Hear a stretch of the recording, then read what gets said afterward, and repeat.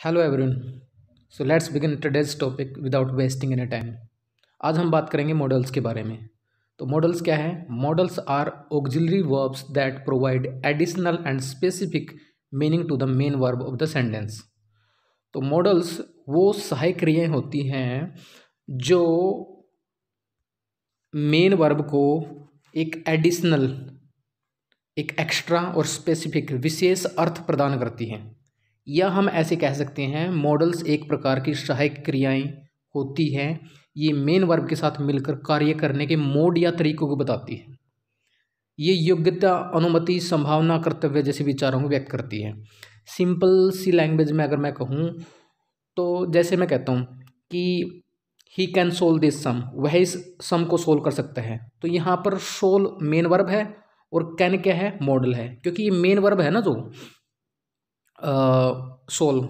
इसके साथ मिलकर ये हमें तरीका बता रही है कि जो वर्ब है ना, उसका मूड क्या है? मूड यहाँ पर वर्ब का है, योग्यता का, कि वो इस सम को सोल्व कर सकते हैं। मे आई कमीन सर क्या मैं अंदर सक, आ सकता हूँ? यहाँ पर जो आना है ना, वो अब, उसका मूड क्या है? परमिशन का, अनुमति का। तो इस तरीके से योग्यता, अनुमति, संभावना करते हुए जैसे विचारों को व्यक्त करती है कौन? मॉडल्स जो वर्ब है। अब हम देख लेते हैं there are thirteen models mainly thirteen models हैं टोटली, जो संख्या में हैं। फ़र्स्ट है मे सेकंड है माइट फिर है कैन फिर है कुड सुड है फिफ्थ सिक्स पे ओ टू सेवन्थ पे मस्ट एट्थ पे नीड नाइन पे डेयर टेन पे यूज़ टू फिर सेल विल वुड तो सीक्वेंस कोई मायने नहीं रखती। आगे पीछे आप इनको कर सकते हो।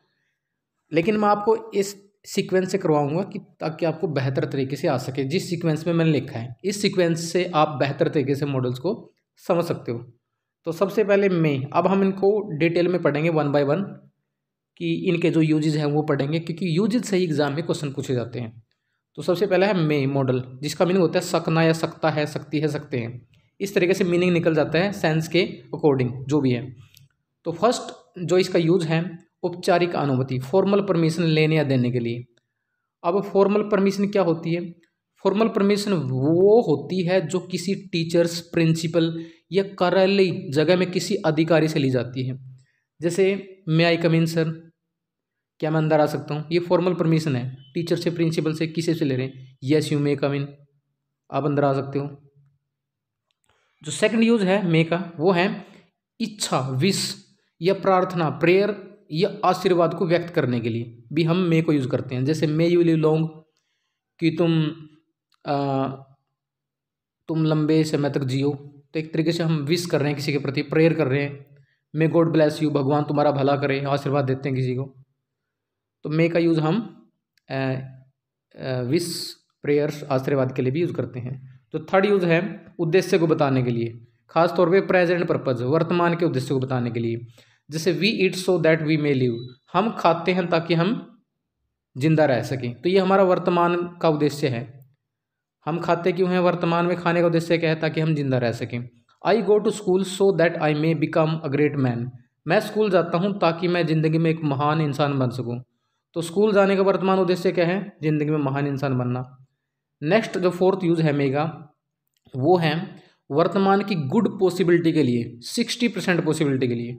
वर्तमान की अच्छी संभावना के लिए। सिक्सटी, फिफ्टी फाइव ऐसे ये डाटा वेरी कर सकते हैं, लेकिन ये एक तरीके से आपको समझाने के लिए अलग अलग बुक्स में आपको अलग अलग मिल सकते हैं। तो यहाँ पर गुड पॉसिबिलिटी के लिए आप कह सकते हो there are clouds in the sky it may rain कि आसमान में बादल हैं, बारिश हो सकती है। इसका मतलब बारिश होने की सिक्सटी परसेंट पॉसिबिलिटी है, अच्छी संभावना है, क्योंकि बादल है। और जब बादल होते हैं तो लगता है कि बारिश होगी, संभावना रहती है।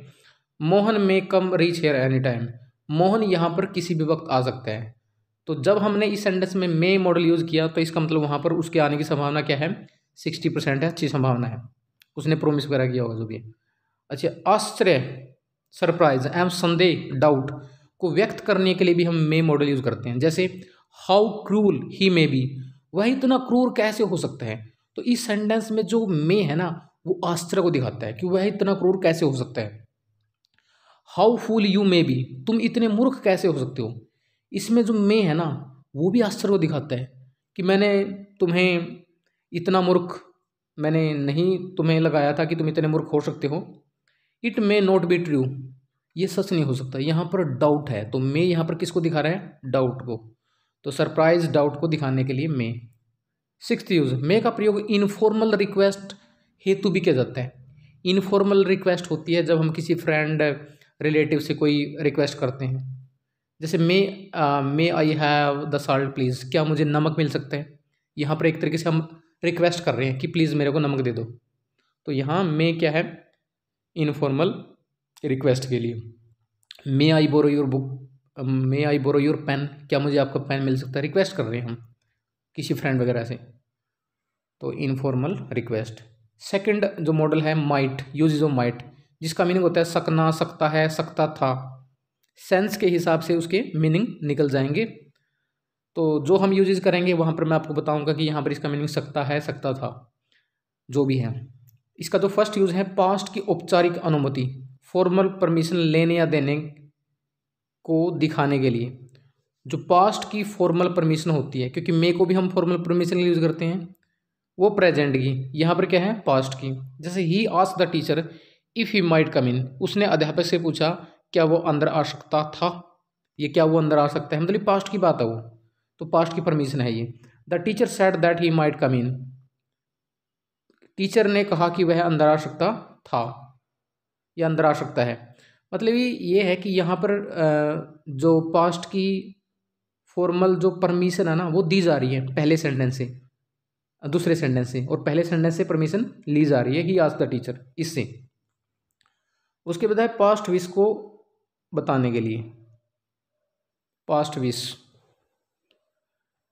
प्रेजेंट विश को बताने के लिए मे यूज़ करते हैं और पास्ट विश को बताने के लिए might she wished that her sister might pass the examination वह चाहती थी कि उसकी बहन परीक्षा पास करे। पास्ट में चाहती थी वो। तो ये पास्ट की विषय है। Mohan wished that his brother might win the race Mohan चाहता था कि उसका भाई रेस जीत जाए। तो यहाँ पर माइट है ना पास्ट विश को दिखा रहा है कि पास्ट में उसने ऐसी इच्छा ज़ाहिर की थी, ऐसी विश उसने रखी थी अपने मन में, अतीत के उद्देश्य को बताने के लिए।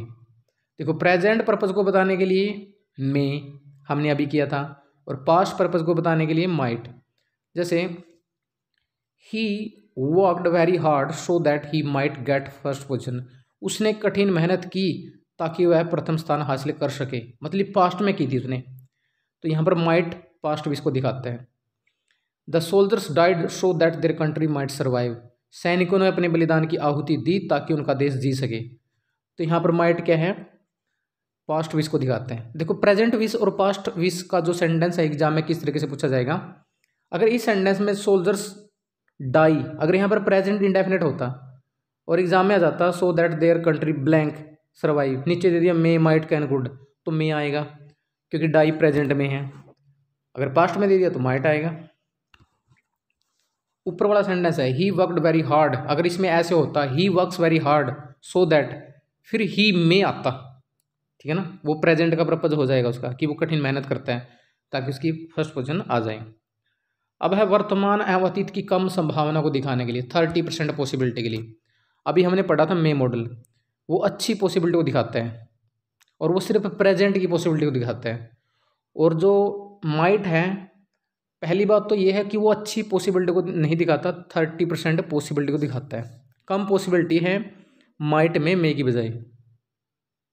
और दूसरी बात ये है कि यहाँ पर पास्ट की पॉसिबिलिटी भी है प्रेजेंट की भी है पास्ट की भी है, लेकिन मे में सिर्फ़ प्रेजेंट की है और सिक्सटी परसेंट पॉसिबिलिटी है। जैसे the sky is not cloudy but a change in weather is always possible so it might rain today आसमान में बादल नहीं हैं, परंतु मौसम में हमेशा बदलाव की संभावना बनी रहती है, इसलिए आज भी बारिश हो सकती है।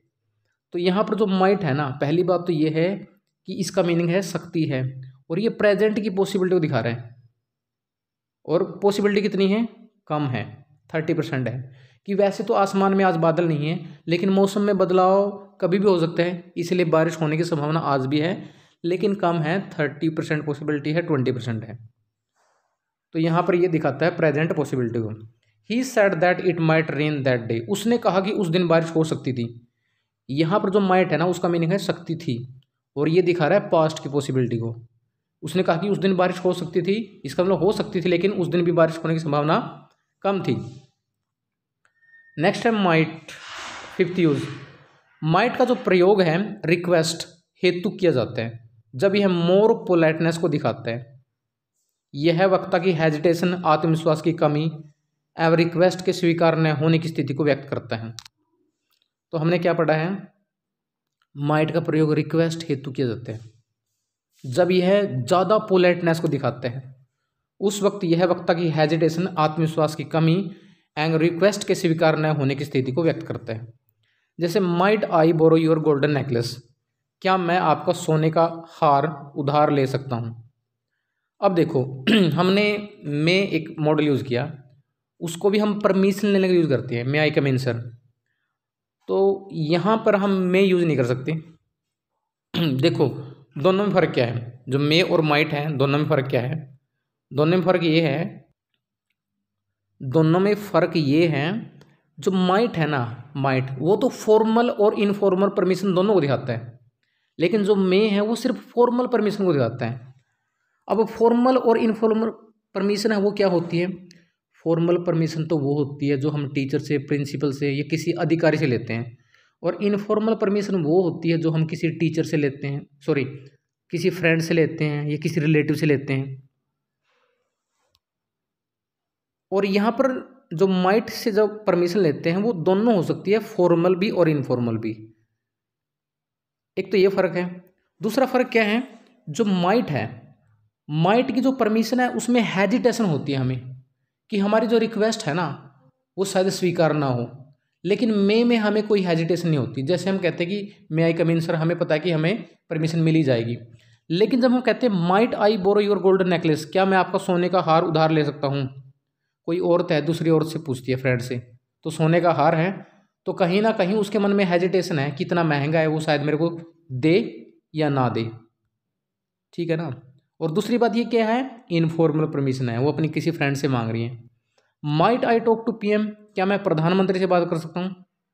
तो यहाँ पर पहली बात तो ये फॉर्मल परमिशन है। मैंने बताया टीचर प्रिंसिपल या कोई अधिकारी पीएम सीएम उनसे जो परमिशन ली जाती है। फॉर्मल परमिशन है। और दूसरी बात, यहाँ पर भी हेजिटेशन है। मे में हेजिटेशन नहीं होती, लेकिन यहाँ पर हेजिटेशन है। क्योंकि क्या मैं प्रधानमंत्री से बात कर सकता हूँ? आप उसके पीए से कहते हो। प्रधानमंत्री पी से। आपके मन में डाउट है कि प्रधानमंत्री इतना बिज़ी रहता है, शायद आपको मिलने ना दे तो क्या है? हेजिटेशन अब हम बात करते हैं यूज़ ऑफ़ कैन की। कैन का मीनिंग भी सकना, सकता है, सकती है, सकता हूँ, इस तरीके से हो जाते हैं सेंस के हिसाब से। अनौपचारिक अनुमति इनफॉर्मल परमिशन देने व लेने हेतु। फॉर्मल परमिशन लेने व देने हेतु हम यूज़ करते हैं मे को फॉर्मल के लिए। और इनफॉर्मल के लिए हम यूज़ करते हैं कैन को तो इनफॉर्मल परमिशन वे, वो होती है जो हम अपने पर्सनल रिलेटिव जैसे father mother sister uncle aunty friend etcetera से लेते हैं। जैसे can I park my car here क्या मैं अपनी कार यहाँ पर पार्क कर सकता हूँ? किसी अंकल से पूछते हैं, किसी और से येस यू कैन पार्क आप यहाँ पर पार्क कर सकते हो। Can I use your pen yes you can use friend से कहते हैं, क्या मैं आपका पेन यूज़ कर सकता हूँ? येस यू कैन यूज़ आप कर सकते हो। इसलिए जब हम कहते हैं ना can I come in sir वो सेंटेंस सही नहीं होता, क्योंकि वो आप किसी अंकल से कह सकते हो, वो फॉर्मल परमिशन है और फॉर्मल परमिशन में हम मे यूज़ करते हैं। अंकल आंटी से पूछते हो कुछ yes can I use your pen तो फिर कैन यूज़ कर सकते हो। नेक्स्ट कैन का जो सेकंड यूज़ है कैन का प्रयोग शारीरिक क्षमता फ़िज़िकल कैपेसिटी एवं मानसिक योग्यता मेंटल एबिलिटी के लिए किया जाता है। जैसे I can lift this suitcase मैं इस सूटकेस को उठा सकता हूँ। इसका मतलब मेरे अंदर शारीरिक क्षमता है। तो कैन यूज़ करते हैं। I can solve this puzzle मैं इस पजल को सोल्व कर सकता हूँ। मैं इस पहेली को सुलझा सकता हूँ। ये क्या है? मानसिक दिमाग की। और शारीरिक ये सूटकेस चाहे वो फ़िज़िकल है, चाहे वो मेंटल है, दोनों के लिए कैन इंपॉर्टेंट यूज़ है ये, पूछा जाता है एग्ज़ाम में। उसके बाद वर्तमान की वेरी वेरी गुड पॉसिबिलिटी को दिखाने के लिए। Ninety nine percent possibility near to the reality जो बिल्कुल सच्चाई के नज़दीक है। अब पॉसिबिलिटी को दिखाने के लिए मे भी यूज़ किया जाता है माइट भी और कैन भी देखो, सबसे कम संभावना है उसमें माइट में थर्टी परसेंट, उसके बाद है मे में सिक्सटी परसेंट, और उसके बाद फिर माइट आएगा माइट उसमें एट्टी के करीब होती है, और सबसे ज़्यादा पॉसिबिलिटी होती है कैन में। जैसे death can come any time मौत किसी भी वक्त आ सकती है, नाइन्टी नाइन परसेंट पॉसिबिलिटी है। एक दो परसेंट ये है कि बच जाए कहीं पर कोई। Measles can be quite dangerous जो खसरा की बीमारी है ना मिजल्स काफ़ी खतरनाक साबित हो सकती है। हो सकती है नाइन्टी नाइन परसेंट तो कैन नेक्स्ट है सैद्धांतिक संभावना। थ्योरेटिकल पॉसिबिलिटी को व्यक्त करने के लिए भी कैन का प्रयोग किया जाता है। कोई सिद्धांतिक, सिद्धांत से रिलेटेड संभावना है, जैसे even an ant can be dangerous for an elephant कि इवन यहाँ तक एक जो चींटी है ना, वो भी खतरनाक साबित हो सकती है, हाथी के लिए पागल बना सकती है। तो एक तरीके से ये सैद्धांतिक संभावना है। Even an experienced person can make a mistake यहाँ तक एक अनुभवी व्यक्ति भी गलती कर सकता है। ये भी क्या है? हाँ सिद्धांत पर आधारित है ना कि हो सकता है कि जो अनुभवी व्यक्ति है, वो भी गलती कर सकता है। फोर्थ मॉडल है कुड। कुड का मीनिंग सकता था, सकता है। दोनों हैं। मॉडल इसलिए कंफ्यूज करते हैं कि उनके अब कुड को हम ये सोचते हैं कि इसका मीनिंग पास्ट में ही आएगा, लेकिन प्रेजेंट में भी आ सकता है। जैसे माइट का मीनिंग प्रेजेंट में भी आ सकता है। वो उनकी यूज़ से पता लगेगा कि कहाँ पर प्रेजेंट में है, कहाँ पर पास्ट में है, और इसलिए मॉडल हमें इतना ज़्यादा कन्फ्यूज़ करते हैं। तो चलिए देख लेते हैं इसका फ़र्स्ट यूज़ अतीत की अनौपचारिक अनुमति लेने व देने के संदर्भ में। अब जैसे हमने कैन में परमिशन लेने और देने के लिए, जो इनफॉर्मल परमिशन है यूज़ किया कैन को। प्रेजेंट में और कुड को हम यूज़ करेंगे पास्ट की जो परमिशन लेने और देने के लिए। जैसे he asked me if I could help him उसने मेरे से पूछा, क्या मैं उसकी मदद कर सकता हूँ? तो ये पास्ट की क्या है? परमिशन है इनफॉर्मल परमिशन है। और he told me that he could help me उसने मेरे को कहा कि वह उसकी मदद कर सकता है। ये क्या है? पहले में परमिशन ली जा रही है और दूसरे में एक तरीके से बताई जा रही है।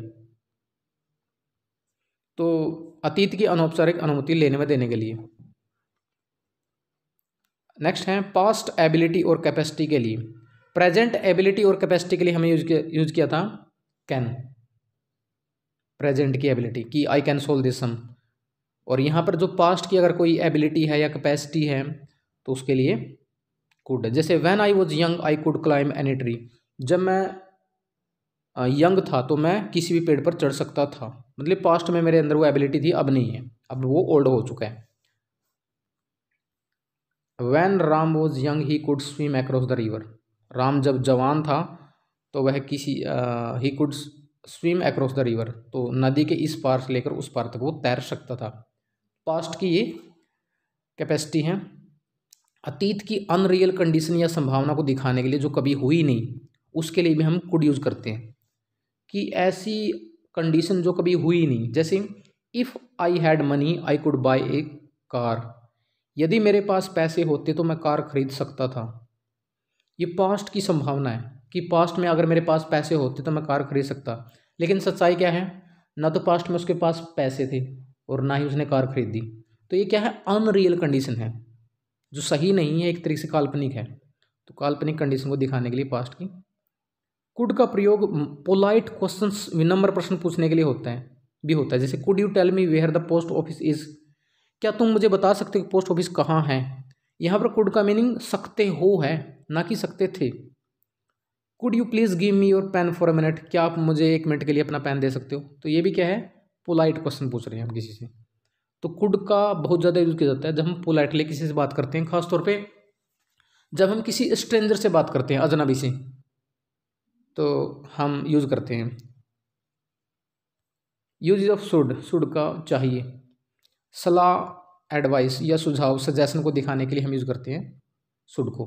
यू शुड वर्क हार्ड तुम्हें कठिन मेहनत करनी चाहिए। सलाह दे रहे हैं किसी को। यू शुड टेक एक्सरसाइज तुम्हें एक्सरसाइज करनी चाहिए। सलाह या सुझाव दे रहे हैं उसके लिए should.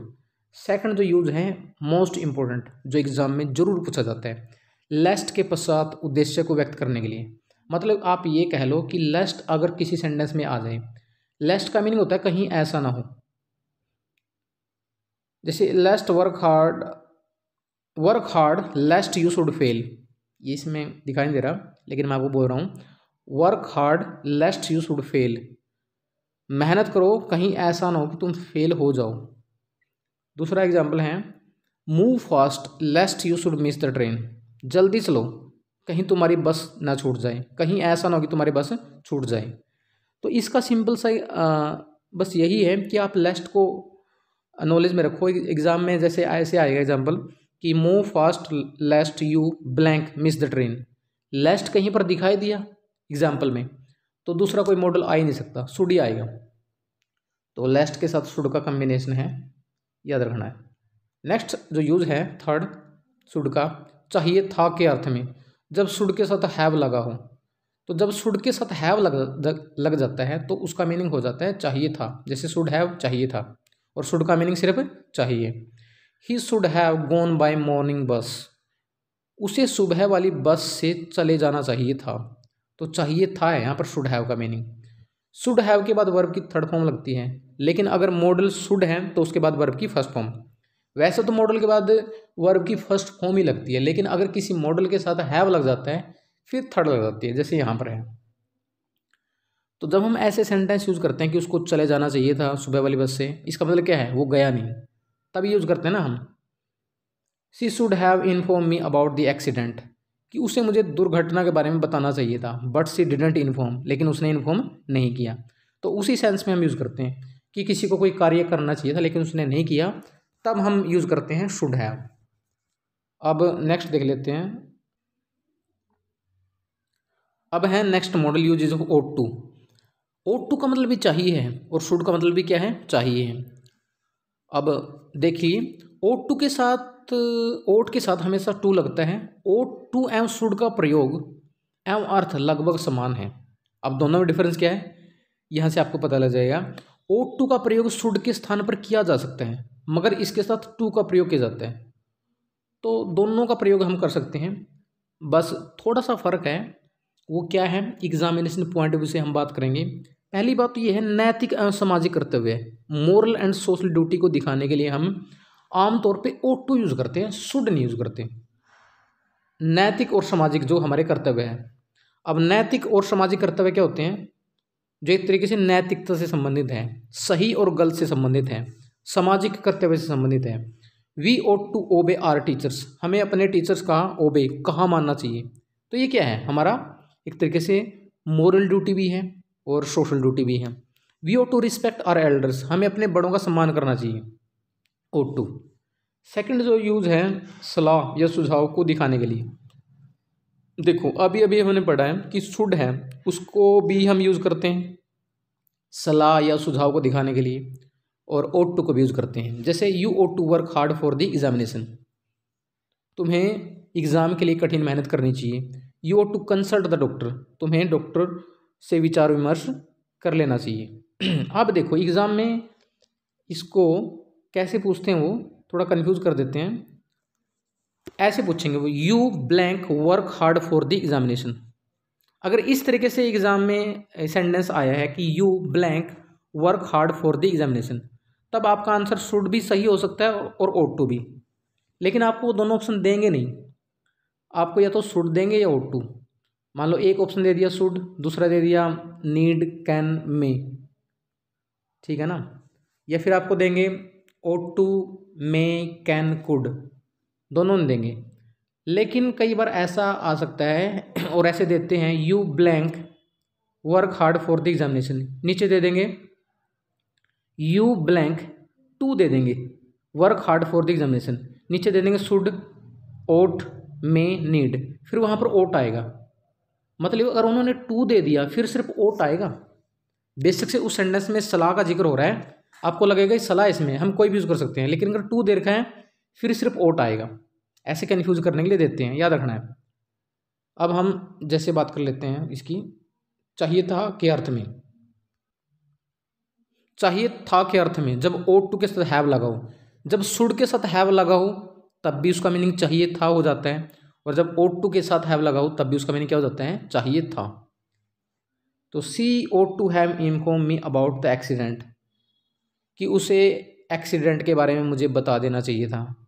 He ought to have gone by morning bus उसे सुबह वाली बस से चले जाना चाहिए था। तो सेम है, अभी अभी हमने पढ़े हैं। क्योंकि ओ टू और शुड को दोनों को हम यूज़ कर सकते हैं। सेम सेंस के लिए। ओट टू का प्रयोग प्रेजेंट पास्ट एवं फ्यूचर टेंस में समान रूप से हो सकता है ओट टू का।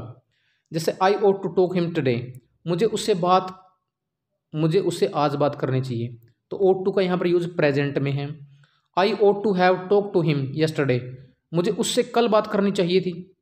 ये पास्ट की बात होगी ना, लेकिन यहाँ पर ओट टू के साथ हैव लगा है, चाहिए था। I ought to talk to him tomorrow मुझे उससे कल बात करनी चाहिए। ये फ्यूचर के लिए है। नेक्स्ट है सेवन्थ मॉडल मस्ट मस्ट का मतलब होता है ज़रूर चाहिए, अवश्य चाहिए। तिरव आवश्यकता डायर नेसेसिटी को व्यक्त करने के लिए हम यूज़ करते हैं मस्ट को। और तिरव आवश्यकता क्या होती है?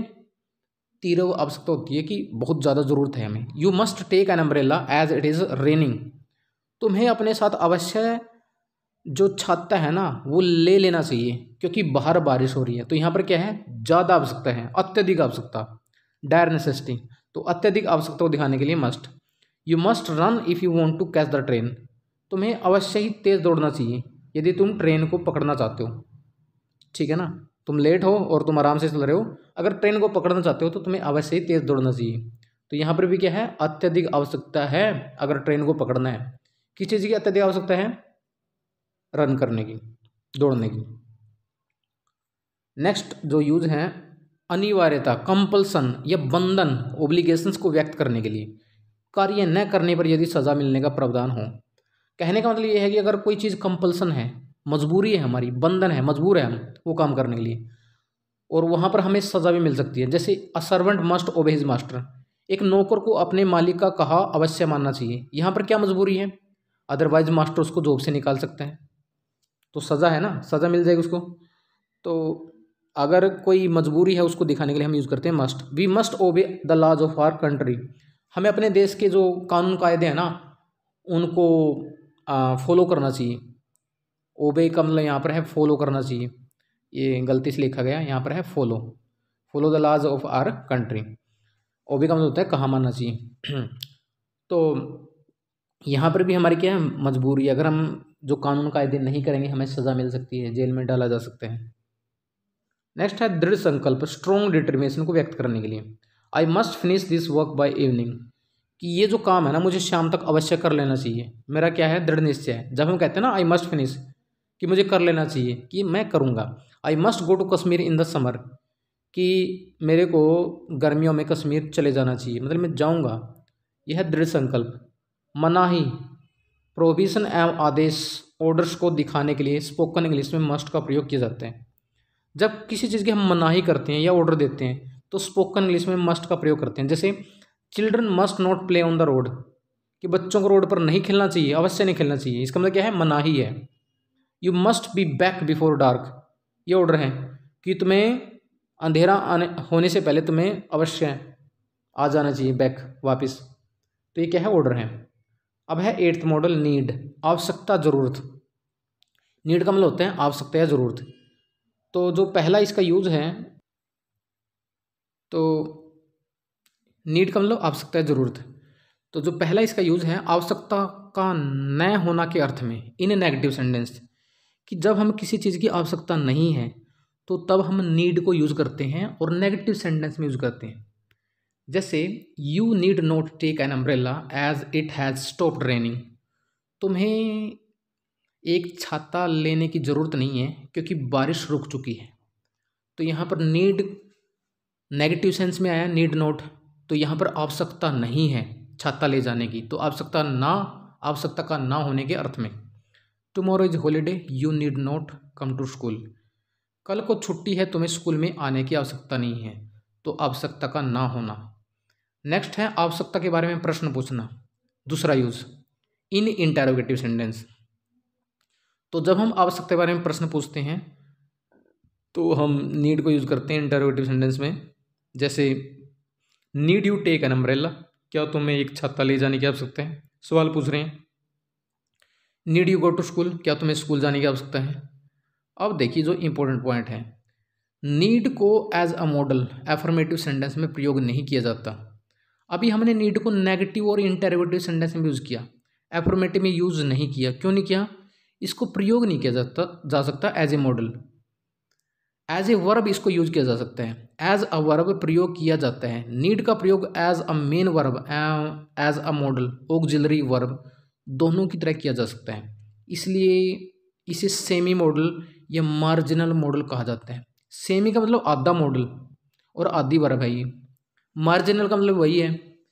तो नीड ऐसा मॉडल है जिसको वर्ब के तौर पर भी यूज़ किया जा सकता है और मॉडल के तौर पर भी।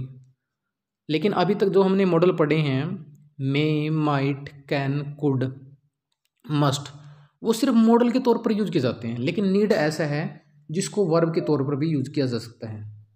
अब देखिए नीड को जब हम एफर्मेटिव सेंटेंस में यूज़ करेंगे, तब ये एज अ वर्ब यूज़ होगा, ना कि एज अ मॉडल लेकिन जब हम नीड को नेगेटिव और इंटरवेटिव सेंटेंस में यूज़ करेंगे तो ये होगा यूज़ एज अ मॉडल वो एज ए वर्ब भी हो सकता है, लेकिन फ़र्क क्या है, देखते हैं।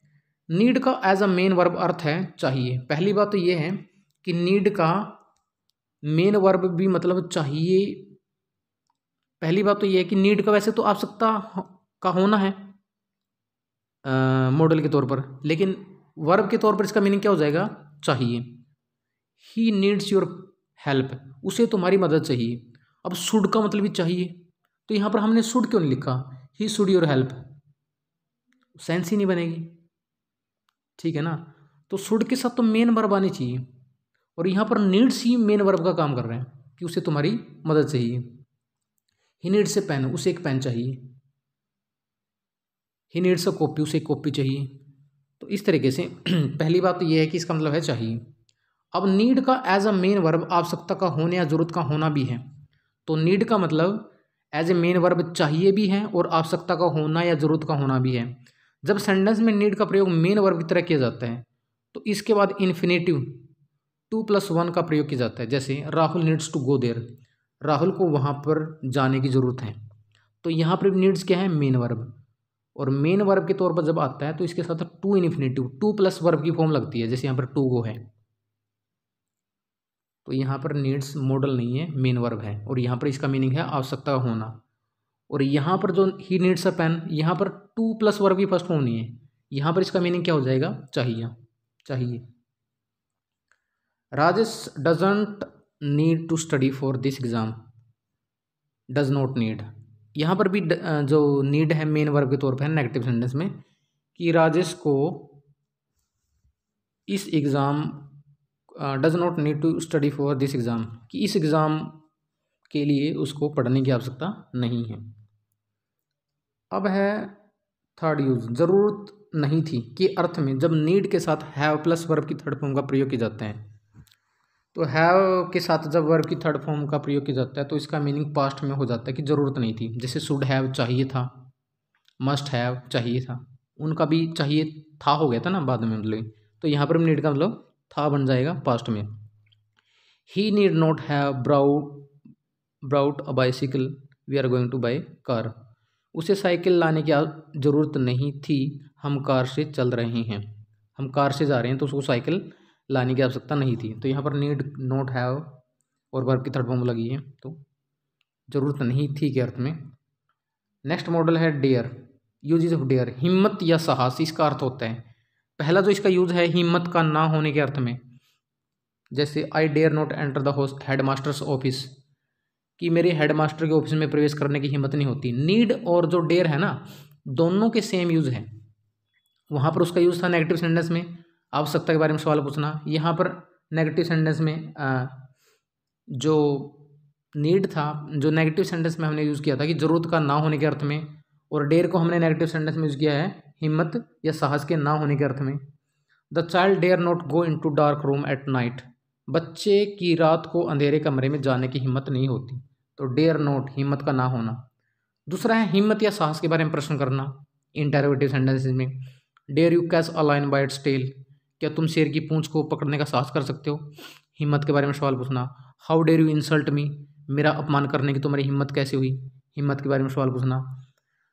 अब जिस तरीके से नीड को हम एज अ वर्ब और एज अ मॉडल यूज़ करते हैं, इसी तरीके से डेयर को भी यूज़ करते हैं। डेयर का प्रयोग भी as a main verb as a modal auxiliary verb दोनों तरह से किया जाता है। इसलिए इसे भी सेमी मॉडल या मार्जिनल मॉडल कहा जाता है। जैसे I dare to enter the head master office कि हेड मास्टर के ऑफ़िस में प्रवेश करने की मेरी हिम्मत होती है। यहाँ पर डेयर मेन वर्ब है। है ना? मॉडल नहीं है। मॉडल के बाद तो हमेशा वर्ब की फ़र्स्ट फॉर्म आएगी। एंटर यहाँ पर भी वर्ब की फ़र्स्ट फॉर्म है, लेकिन टू आया है। तो टू आएगा जब ये मेन वर्ब का काम करेगा। डेर का प्रयोग जब मेन वर्ब की तरह किया जाता है तो इसके साथ टू का प्रयोग किया जाता है। अब हम कर लेते हैं टेंथ मॉडल है uses of ought to ought to जो मॉडल है, इसका मतलब होता है किया करता था, किया करती थी, हुआ करता था। ये मीनिंग होते हैं इसके। अब जो इसका फ़र्स्ट यूज़ है, भूतकाल की किसी आदत पास्ट हैबिचुअल एक्शन को दर्शाने के लिए तो इसका मीनिंग होता है किया करता था या किया करती थी। और हुआ करता था, इसका मीनिंग होगा जो सेकंड यूज़ हम करेंगे। तो किसी पास्ट हैबिचुअल एक्शन को दिखाने के लिए, और यूज़ टू का प्रयोग यह व्यक्त करता है कि भूतकाल में कोई कार्य आदतन किया जाता था, लेकिन अब नहीं किया जाता है। मतलब पास्ट में वो थी हैबिट काम करने की, लेकिन अब नहीं रही। जैसे before marriage he used to drink a lot कि शादी से पहले वो बहुत ज़्यादा शराब पिया करता था। पास्ट की उसकी आदत थी, लेकिन अब नहीं पीता। But now he doesn't drink he used to go for a walk वो सैर के लिए जाया करता था, लेकिन अब नहीं जाता। तो यूज़ टू दिखाता है पास्ट हैबिट को, किया करता था, हुआ करता था like that to express past existence भूतकाल के अस्तित्व को दिखाने के लिए। यहाँ पर इसका मीनिंग होगा, हुआ करता था, और पास्ट हैबिट में किया करता था। यूज़ टू का प्रयोग यहाँ यह व्यक्त करता है कि पास्ट में किसी इमारत आदि हुआ करती थी, लेकिन वो अब नहीं है। जो फ़र्स्ट यूज़ है ना पास्ट की आदत, वो पास्ट की आदत है। और यहाँ पर पास्ट का जो अस्तित्व है मतलब पास्ट में कोई चीज़, किसी चीज़ का अस्तित्व था, थी वो, लेकिन अब नहीं है। जैसे there used to be a temple at the corner कि इस कॉर्नर पर एक स्कूल हुआ करता था, आज नहीं है। पास्ट में वो स्कूल का अस्तित्व था। अब उसकी इमारत को गिरा दिया गया है। There used to be a shop here यहाँ पर एक दुकान हुआ करती थी, अब नहीं है। नोट यूज़ टू को एक एडजेक्टिव की तरह भी प्रयोग किया जाता है, जहाँ पर इसका अर्थ होता है अभ्यस्त या आदि। अकस्टम्ड जैसे I am used to take tea in the morning मैं सुबह चाय पीने का आदि हूँ। तो यहाँ पर यूज़ टू मॉडल नहीं है, बल्कि यहाँ पर यूज़ टू एक एडजेक्टिव का काम कर रहा है, कि मैं आदि हूँ। ठीक है ना? तो यहाँ पर, और एक खास बात है, जब यूज़ टू का मीनिंग आदि की सेंस में होगा मतलब कोई किसी चीज़ का अभ्यस्त है तो वहाँ पर यूज़ टू से पहले इज़ एम आर मिलेंगे। अदरवाइज़ मॉडल से पहले नहीं मिलेंगे। जैसे he used to drink a lot is am are नहीं थे। तो ये डिफरेंस इस तरीके से आप कर सकते हो इंपॉर्टेंट यूज़ है। जैसे he is used to working in a noise room वो नॉइसी रूम में जहाँ पर शोर हो रहा है, वहाँ पर काम करने का आदि था। इलेवेंथ मॉडल है सेल सेल का प्रयोग फ़र्स्ट पर्सन आई वी के साथ सिंपल फ्यूचर को व्यक्त करने के लिए अर्थ में प्रयोग किए जाते हैं। टेंस में भी पढ़ते हैं हम ये बात। इससे यह ज्ञात होता है कि निकट भविष्य में कोई काम होगा। जैसे I shall leave for Kerala tomorrow मैं केरल के लिए कल को रवाना हूँगा। I shall be fifty years old next Friday अगले शुक्रवार को मैं पचास साल का हो जाऊँगा। सेकंड यूज़ सेल का प्रयोग सेकंड पर्सन यू तथा third person he she it they के साथ थ्रेट धमकी प्रोमिस वायदा डिटर्मिनेशन दृढ़ निश्चय ऑर्डर व्यक्त को करने के लिए किया जाता है। अब वैसे तो आई और वी के साथ सेल लगता है। और यू ही सीट दे इनके साथ लगता है, विल। लेकिन रूल हमारा बदल जाता है। जिसके साथ विल लगता है, उसके साथ सेल लग जाएगा और जिसके साथ सेल लगता है, उसके साथ विल लग जाएगा। किस सिचुएशन में? इन चारों सिचुएशन में। अगर सेंटेंस में धमकी का ज़िक्र है, वायदे का ज़िक्र है, दृढ़ निश्चय का ज़िक्र है, या कोई ऑर्डर आदेश का ज़िक्र है, जैसे, ही सेल किल यू वह तुम्हें मार देगा। वैसे तो ही के साथ विल लगता है, लेकिन वाक्य में धमकी का ज़िक्र हो रहा है। इसलिए सेल लगा है। You shall get a prize तुम्हें इनाम मिलेगा। प्रोमिस का ज़िक्र हो रहा है सेंटेंस में वायदे का इसलिए क्या है? सेल आया, बिल नहीं आया। You shall get ninety five percent marks in class twelfth तो यहाँ पर दृढ़ निश्चय है कि तुम में तुम नाइन्टी फाइव परसेंट मार्क्स लोगे, ये पक्का है, जितनी तुम मेहनत करते हो। यू सेल नॉट गो तुम नहीं जाओगे। तो यहाँ पर सेल यू के साथ क्या दिखाता है? ऑर्डर को, कि तुम नहीं जाओगे, मैंने कह दिया। थर्ड यूज़ है प्रश्नवाचक वाक्यों में इंटरोगेटिव सेंटेंस में सेल का प्रयोग आई वी के साथ किसी दूसरे के सामने अपनी सेवा प्रस्तुत करने के लिए या प्रार्थना सुझाव करने के लिए किया जाता है। ये इंपॉर्टेंट है स्पोकन इंग्लिश में बहुत ज़्यादा यूज़ किया जाता है इसको। जैसे shall I carry your heavy bag क्या मैं तुम्हारा भारी बैग ले जाऊँ? यहाँ पर हम सेवा प्रस्तुत कर रहे हैं। सेवा का मतलब ऑफ़र कर रहे हैं कि मैं आपकी कोई सेवा कर सकता हूँ। तो यहाँ पर सेल का मतलब फ्यूचर को नहीं दिखाएगा। कि क्या मैं आपका भारी बैग ले जाऊँगा। सेल का मतलब यहाँ पर यह है कि क्या मैं ऐसा करूँ? ठीक है ना? क्या मैं आपका भारी बैग ले जाऊँ? इसके तो हम किसी को अपनी जो सर्विस है ना वो ऑफ़र कर रहे हैं। Shall we go to see a film today. तो पहले सेंटेंस में सेवा था आ, जो सर्विस ऑफ़र कर रहे थे। दूसरे सेंटेंस में है क्या हम आज फ़िल्म देखने के लिए चलें? यहाँ पर सेल किसको दिखा रहे हैं? सर्विस को नहीं बल्कि सुझाव के लिए। तो यहाँ पर सेल का मतलब है? क्या हम फ़िल्म देख लेंगे? चलें चलें। सुझाव है सेल से। अब लेट्स वाले सेंटेंस में क्वेश्चन टैग में भी सेल का प्रयोग किया जाता है, जो फोर्थ यूज़ है। जैसे, let's look at it again, shall shall we आइए इसे फिर से देखें। क्या देखें? तो लेट्स वाले सेंटेंस में जो क्वेश्चन टैग है, उनके लिए हम सेल को यूज़ करते हैं। Let's go for walk shall we आओ, सैर के लिए चलें। चले क्या? तो ये question tag. Next twelfth modal use of will, गागी गे। विल का प्रयोग सेकंड और थर्ड पर्सन के साथ सिंपल फ्यूचर को व्यक्त करने के लिए अर्थ में प्रयुक्त होता है। जैसे ही विल कम टुमारो वो कल को आएगा। आपको पता है you he C it then के साथ लगता है। You will pass the examination तो भी एग्ज़ाम पास करोगे। सेकंड यूज़ है विल का प्रयोग फ़र्स्ट पर्सन के साथ धमकी थ्रेटन प्रोमिस वायदा, एवं दृढ़ निश्चय डिटर्मिनेशन को व्यक्त करने के अर्थ में होता है। आई विल किल यू धमकी। है कि मैं तुम्हें मार दूँगा। वी विल हेल्प यू हम तुम्हारी मदद करेंगे। वायदा है।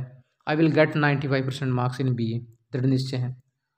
तो यहाँ पर भी हमने पढ़ा था ना रूल रिवर्स हो जाता है। आई के साथ विल और वी के साथ विल और ही सीट उनके साथ सेल आ जाता है इन सिचुएशन में।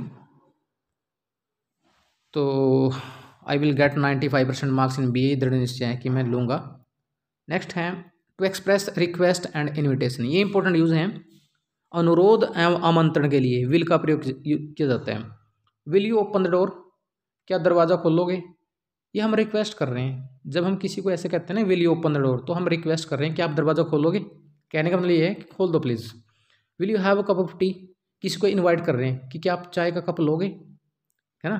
We are inviting someone for a cup of tea fourth use है विल का, सामान्य आदत को दिखाने के लिए कि कोई किसी चीज़ की सामान्य आदत है।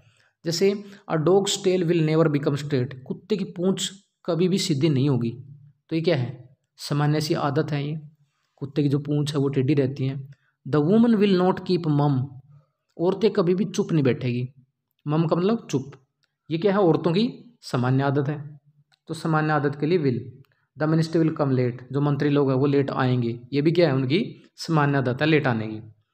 फिफ्थ जो यूज़ है, शर्त बोधक वाक्यों में कंडीशनल सेंटेंस में हम यूज़ करते हैं। विल को if you work hard you will pass यदि तुम कठिन मेहनत करोगे तो तुम पास हो जाओगे।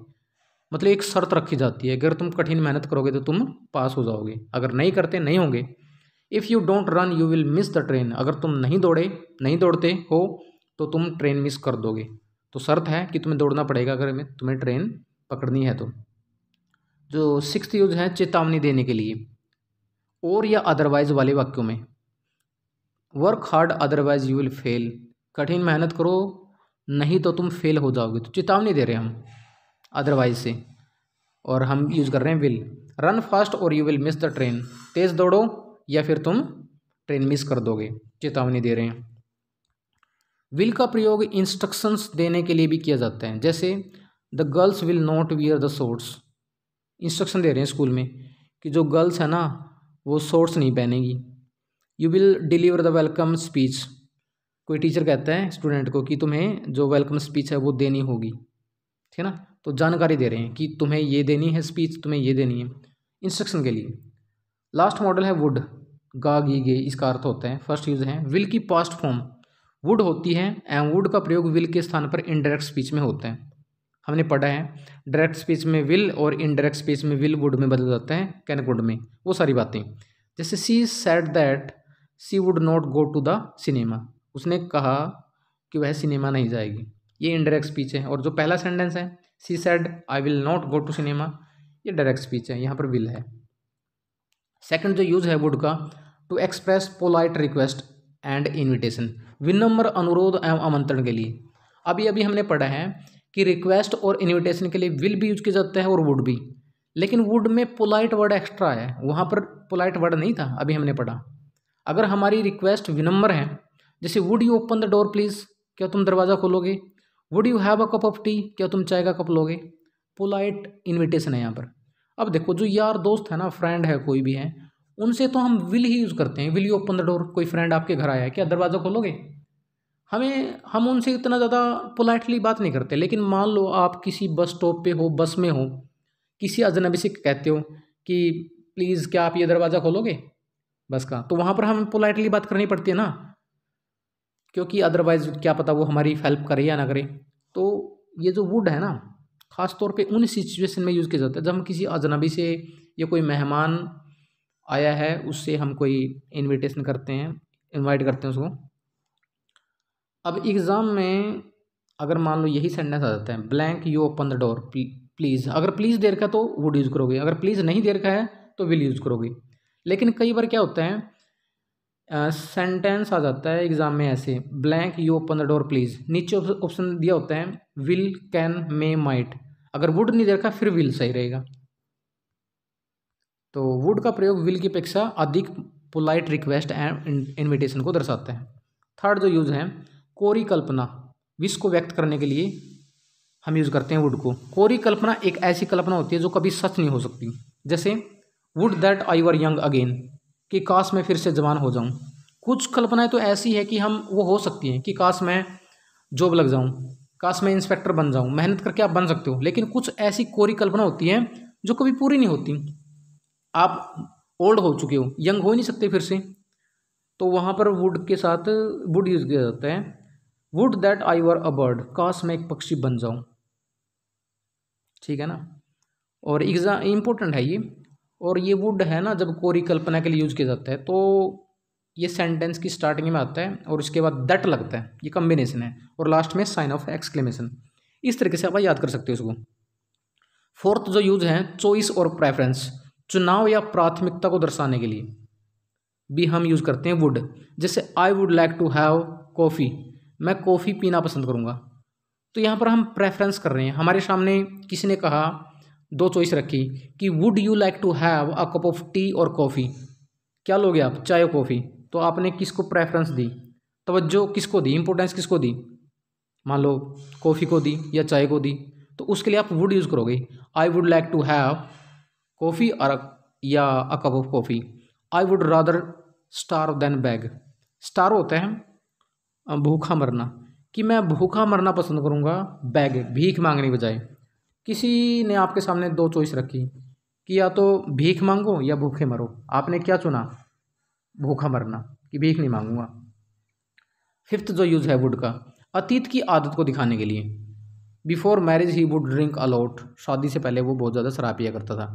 अब अतीत की आदत को दिखाने के लिए यूज़ टू भी यूज़ किया जाता है और वुड भी ठीक है ना? दोनों को यूज़ किया जाता है, लेकिन दोनों में एक फ़र्क भी है। फ़र्क क्या है वो हम आगे बात करेंगे। He would go for a walk वो सैर के लिए जाया करता था।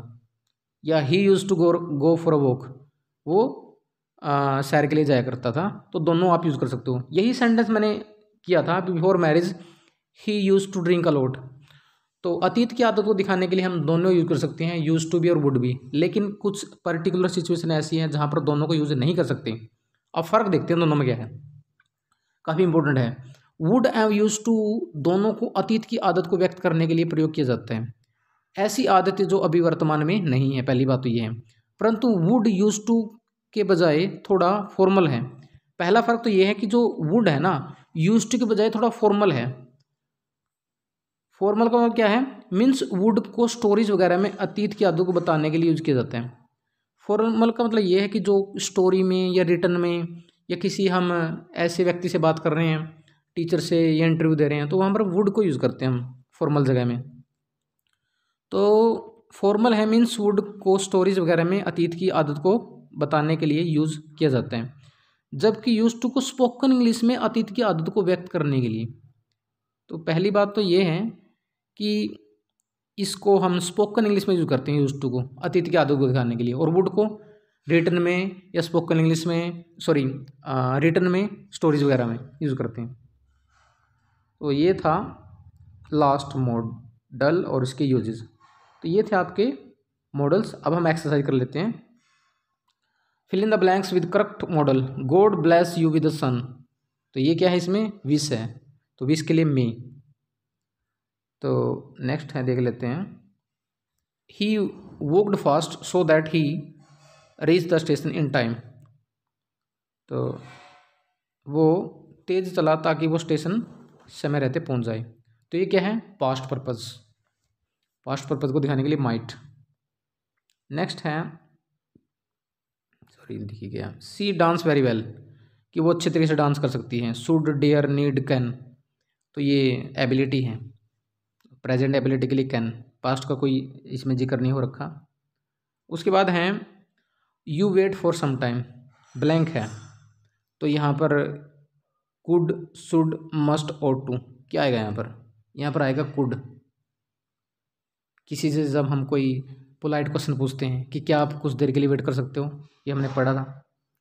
उसके बाद आ जाओ। Work hard lest you fail again कठिन मेहनत करो, कहीं ऐसा ना कि तुम फिर से फेल हो जाओ। तो लेस्ट के साथ क्या आएगा? Would should must need should आता है, हमने पढ़ा है। उसके बाद है you to take regular exercise कि तुम्हें प्रतिदिन एक्सरसाइज करनी चाहिए। अब टू है, सलाह है ought to should must can वैसे तो सलाह और सुझाव के लिए शुड और ओट टू दोनों को यूज़ किया जाता है, लेकिन मैंने आपको बताया था, अगर टू देर का फिर क्या आएगा? ओट उसके बाद सेवन्थ जो एग्ज़ाम्पल है, वो है you not swim in the river the current is very fast तुम्हें नदी में नहीं तैरना चाहिए, क्योंकि जो धारा है ना, वो काफ़ी तेज़ है। शुड नीड और मस्ट और कैन यहाँ पर मस्ट आएगा, क्योंकि वो अत्यधिक आवश्यकता है। कि तुम्हें नदी में अवश्य ही नहीं तैरना चाहिए, क्योंकि जो धारा है ना, वो काफ़ी तेज़ है, वो तुम्हें बहा कर ले जाएगी। तो अत्यधिक आवश्यकता के लिए हम यूज़ करते हैं मस्ट कि बाहर बारिश हो रही है, अवश्य तुम्हें छाता ले जाना चाहिए। वो सेंटेंस हमने पढ़े थे। You are quite well you not go to the doctor तुम बिल्कुल सही हो। तुम्हें डॉक्टर के पास जाने की डेयर नीड शुड विल तो नीड आएगा कि तुम्हें डॉक्टर के पास जाने की आवश्यकता नहीं है। तुम ठीक हो, अच्छे तरीके से। Blank you go into that house at night need can used to dare तो यहाँ पर आएगा डेयर कि क्या रात को उस घर में तुम्हारी जाने की हिम्मत है? Tenth. A great man live in this house in the past एक महान व्यक्ति इस घर घर में पास्ट में रहा करता था। Could used to may will तो ये पास्ट हैबिट है।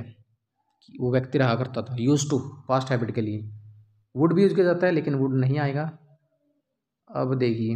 Work hard otherwise you fail कठिन मेहनत करो, नहीं तो तुम फेल हो जाओगे, चेतावनी के लिए। शुड सेल विल कैन, चेतावनी के लिए विल यूज़ किया जाता है सी आएगा। उसके बाद हैं I help you in this matter would shall could can तो यहाँ पर आएगा सेल क्या इस मसले में मैं आपकी मदद करूँ? एक तरीके से हम किसी को अपनी सर्विस ऑफ़र कर रहे हैं सेल नेक्स्ट है दैट आई वर क्लाउड मैं बादल होता, कोरी कल्पना के लिए वुड को यूज़ करते हैं तो ए आएगा। तो ये थे आपके मॉडल्स और अगर आपको इनकी पीडीएफ चाहिए तो एक नंबर मैं आपको दे रहा हूँ व्हाट्सएप नंबर आप उस पर हमें मैसेज कर सकते हो। और मॉडल्स की जो आपको पीडीएफ है, वो मिल जाएगी आपके नंबर पे। तो आज के लिए इतना ही, मिलते हैं नेक्स्ट वीडियो में। उससे पहले मैं आपको नंबर दिखा देता हूँ।